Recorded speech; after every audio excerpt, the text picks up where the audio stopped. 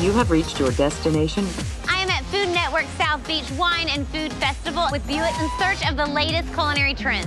Tonight, it's barbecue, Sobe style. Chefs are jumping into the barbecue world and doing things with barbecue that they've done with other foods. I see lots of new cuts of meat trending in barbecue. Pass the pork cheeks, please. I love all the new ethnic flavors that are coming into barbecue. Smoking hot, yet tastefully refined. This South Beach experience is brought to you by Buick Regal.